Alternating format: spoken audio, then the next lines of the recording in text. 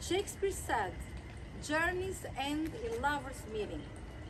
However, garden's journey never ends.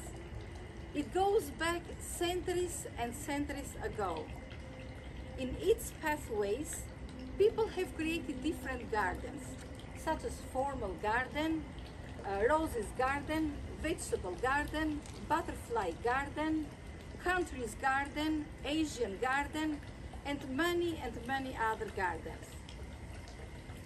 The beauty of a formal garden are the perfect symmetry, the pathways, the geometric shapes, and if the focal point are statues, fountains, a bench, a big vase, or other ornaments.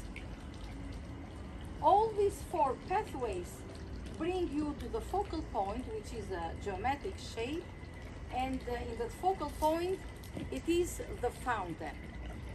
Where we live in New England, it is very important to have color and energy even in the harsh winter. And it is nothing more beautiful than these yellow bushes. When it is snowing, they have the same color.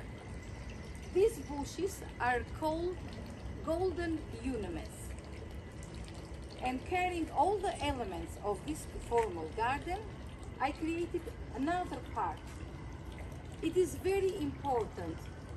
Even though we have color all the winter, we have green, it is very important in other seasons to add more colors, particularly in summer.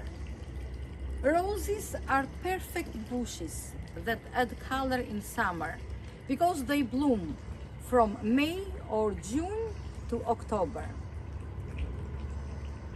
Don't be afraid to be, to be spontaneous.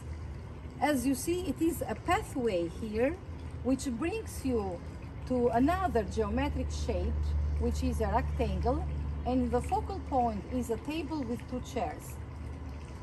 It is so beautiful that all these, uh, roses, all this energy have covered the pathway.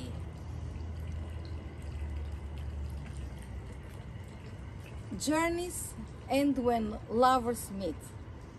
However, Journey's garden never ends. I'm Valbona Lavdari. Garden is one of my passion. If you like this video, don't hesitate to subscribe. Thank you.